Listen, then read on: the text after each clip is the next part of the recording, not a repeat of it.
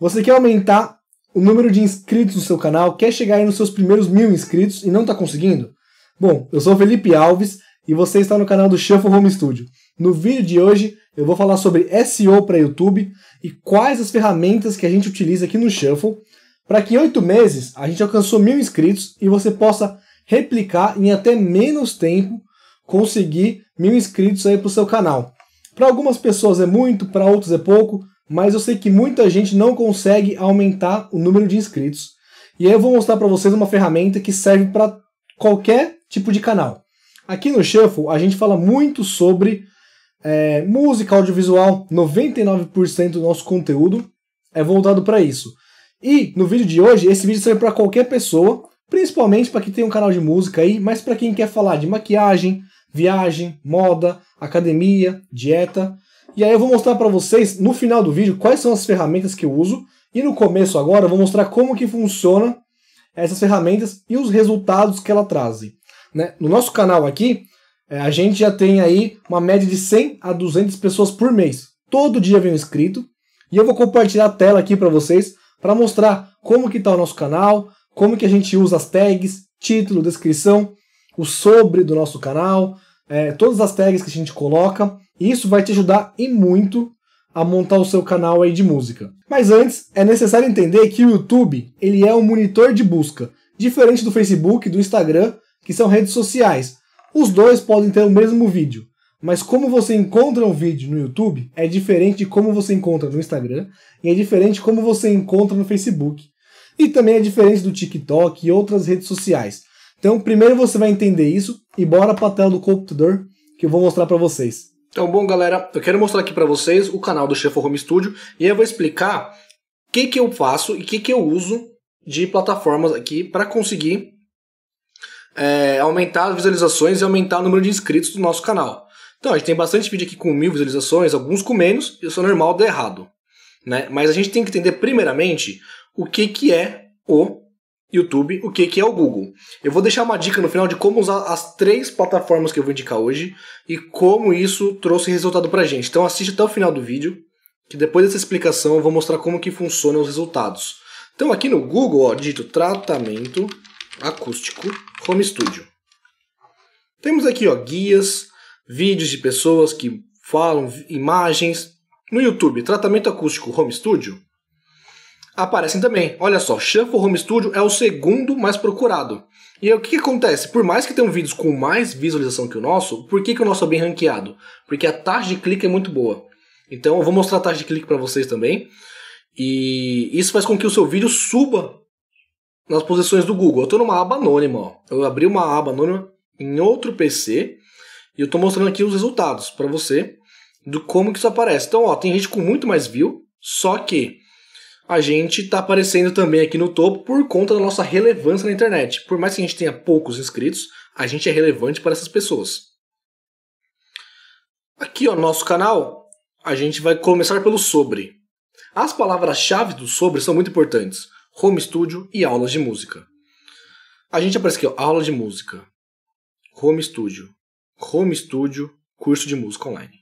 Aqui estão as palavras-chave do nosso canal colocamos mais de três vezes, três vezes no mínimo, essas palavras-chave. Então, a, o Google entende que isso aqui é uma palavra-chave do seu canal. Eu falo Google porque o algoritmo é do Google, por mais que seja o YouTube, né? É da mesma empresa. Usei aqui, ó, Google Trends, primeira plataforma. Eu vou deixar todas as outras o link na descrição. E como que eu junto as três plataformas para criar as tags, descrição e título do meu canal. Então, ó, curso de música, tem menos procura do que aula de música. Mas mesmo assim eu uso as duas. Só que eu uso muito mais aula de música nas minhas tags do que curso de música. Você escolhe o que você quer pesquisar aqui. Aula de violão. Você escolhe o que você quer pesquisar e comparar. Coloca aqui, ó, YouTube. Ou sempre está na pesquisa da web. Então você vem aqui colocar no YouTube. Últimos 12 meses, você pode escolher, ó. Eu quero pegar os últimos 90 dias. Aula de violão tem mais procura do que aula de música, mas eu, Felipe, não toco violão. Então, é isso que eu não vou colocar também uma coisa que eu não faço no meu canal. Porém, são comparativos, ó. Aula de música é mais que curso de música. Os estados do Brasil, é, nos últimos 90 dias, ele dá várias ideias para você aqui, ó, de região que procuram isso. E aí, o que, que acontece? Isso aqui tá aqui. Já está no nosso canal. E aqui nós temos o nosso canal. Isso aqui é recorrente, ó.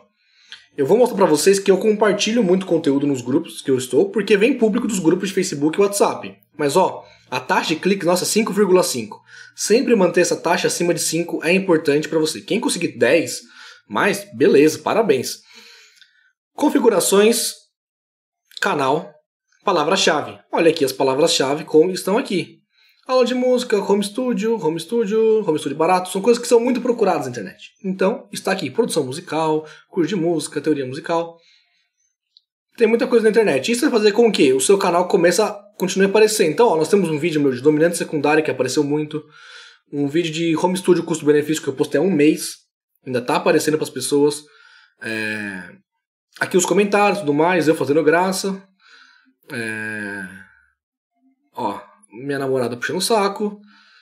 O, S, o SG Music, quem quiser ouvir um som da hora, eu recomendo muito ver esse canal aqui, que é um aluno lá do Fiscar também, parceiraço nosso. E aí o cara tem produzindo muito conteúdo bom, sempre presente no nosso canal. Mandar um abraço para ele. E aí, ó, conteúdo. Coloquei aqui, ó, os top visualizações nossos, né? Aqui tratamento acústico para home studio. Depois ainda de mostrar, vou dar uma dica para vocês de por que, que isso atrai pessoa, as capas ou os títulos. Mas ó, as nossas tags é o que é procurado no Google. Isso aqui você tem que digitar certinho que a pessoa procura no Google para aparecer para ela. Quando você vem aqui no YouTube, tratamento acústico, home studio, ele vai dar aqui, ó, tratamento acústico automotivo, igreja, quarto, barato, gol, porta, o que, é interessante pra gente? A gente escolhe o que é interessante pra gente e coloca aqui. Mas não só isso. Keyword Tools. Se você for aqui no Keyword Tools, você vai escolher YouTube, tratamento acústico, português, Keyword Suggestion. Ele vai mostrar as mesmas coisas que são procuradas, mas ele dá ideia para você. Segunda plataforma, a Rap Tags. Aqui eu consigo digitar um tema e ele já mostra tags que são. Eu vou excluir as tags que eu não quero. Painel, é, Estúdio, isolamento acústico, apartamento, no quarto, sala, é, na porta.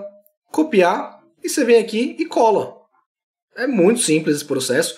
E qual que, que acontece? A gente também coloca esses termos na descrição e principalmente no título, que é o que a pessoa está procurando. As estatísticas disso são muito boas. Nosso canal ó, sempre entrega esse vídeo, as pessoas sempre assistem esse vídeo. Alcance. Sempre aparece para as pessoas. Impressão é quando aparece para as pessoas. Ó, 5.8 é uma taxa de clique muito boa. Então isso faz com que as pessoas é, isso suba, né, o seu, o seu desempenho aí do, do Google. Desde quando o vídeo foi publicado, em julho. Isso aqui é o principal. 6,7% do nosso público veio de coisas externas, que é Facebook, WhatsApp. Ou seja, menos de 10% de quem vê o vídeo é quem as clica nos, nas coisas que eu compartilho no WhatsApp e também nos grupos de, de, de home studio. Pesquisa do YouTube, vídeo sugerido, recurso de navegação, isso faz com que a gente apareça para as pessoas através do YouTube, que a gente seja recomendado e que as pessoas procuram conteúdo como o nosso. Então 80% do público vem só de procurar coisa no YouTube. E aí ele mostra aqui, ó, os vídeos que levaram que foram recomendados, é, as playlists que as pessoas estão vendo. E aí, uma coisa que tem muito interessante é: se aqui tem 500 caracteres para tag, você vai por 500, você vai por 499. Você não vai por 300, você não vai por 400, você não vai por 200. 500. Por quê? Porque isso aqui mostra resultados. Aqui você tem que ocupar esse espaço. E também colocar na descrição. Mas aí você faz um texto, né? Como fazer um tratamento acústico em home studio como fazer o tratamento acústico do seu quarto ou o tratamento acústico do seu estúdio. No caso, você faz um textinho, que não precisa ser um texto lindo, maravilhoso, mas as palavras-chave têm que estar aqui. As tags têm que estar aqui também nesse, nesse, nessa descrição e também no seu título. Isso traz, eu junto o quê? As principais procuradas daqui, bato com o Google, venho aqui e já procuro assuntos relacionados. Agora tem uma questão importante. Se você falar de maquiagem, de outra coisa, você vai fazer com que o seu canal tenha um assunto que seja relevante para quem fala sobre maquiagem. Só que também, como tem mais procura, tem mais concorrência. Então, o que acontece no nosso canal? A gente fala muito sobre uma perspectiva nossa, mas sem colocar no título. Ah, o que, que o Matheus aqui que está no título acha? O que, que o Felipe e eu aqui acho? Eu não falo o que, que o Felipe acha de tratamento acústico para home studio. A gente procura material, lê esse material e fala o que a gente entendeu. Ah, no meio do vídeo eu posso falar. Ah, a opinião do Felipe é que esse best trap é melhor do que esse, porque eu estudei isso, isso, isso. Ou porque eu vi alguém falando sobre isso, ou algum professor falou sobre isso. Eu posso pôr a minha opinião no vídeo, mas o título não é a opinião do Felipe Alves sobre tratamento acústico. O que que o Matheus Leite acha de tratamento acústico? Porque ninguém conhece a gente, ninguém quer saber o que, que eu acho. As pessoas querem saber como que faz. Então, primeira coisa é, não é o que o Felipe acha de tratamento acústico para home studio, é o que, que as pessoas querem saber, né, de, de home studio, e aí você fala para elas um conteúdo sem ser a sua opinião. Você, a gente tem que entender que quando a gente está começando um canal no YouTube, as pessoas não querem saber quem é a gente, muito menos conhecem a gente. Então a gente não é, vamos dizer assim, relevante para as pessoas, né? E aí, o que acontece com o seu canal de modo geral? O seu canal de modo geral vai acontecer. Ops. Cancelar. Conteúdos do canal, ok. O seu canal vai acontecer isso aqui, estatísticas. Ao longo do tempo, Vamos colocar aqui, ó, do dia que a gente abriu o canal. E essa dica aqui que vocês vão ver como funciona mesmo. Que é o dia do canal até ontem. Visualizações. Olha como as visualizações estão aumentando cada vez mais no gráfico. Exibição de horas, aumentando. Inscritos, se mantém. Alcance, impressões. Olha só como aumentou o número de vezes que a gente aparece para os outros. Só ontem a gente apareceu 4 mil vezes.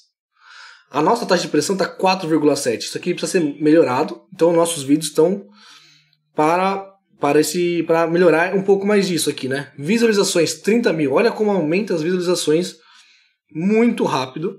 Em menos de um ano a gente conseguiu isso. E aqui, ó, a galera que vem do público externo, vídeos sugeridos, recursos de navegação, 20% do nosso canal é quem está no Facebook e no WhatsApp. O resto, 80%, ou seja, dos 30 mil views, 24 mil views foram do YouTube. E 6 mil views foram de pessoas que acompanham nosso trabalho nas redes sociais e nos grupos de Facebook. Ou seja, o que interessa aqui é como você trazer a coisa para as pessoas e trazer informação que seja relevante para as pessoas, né? Não a sua opinião, não a sua vida, não o seu relato. Você tem que entender que você não é relevante para as pessoas, você não é um famoso. E aí aqui, nossos vídeos estão melhorando essa taxa. E agora, eu espero que esse vídeo tenha ajudado vocês Inscreva-se no canal, deixe o botãozinho de like e ó, até o próximo vídeo.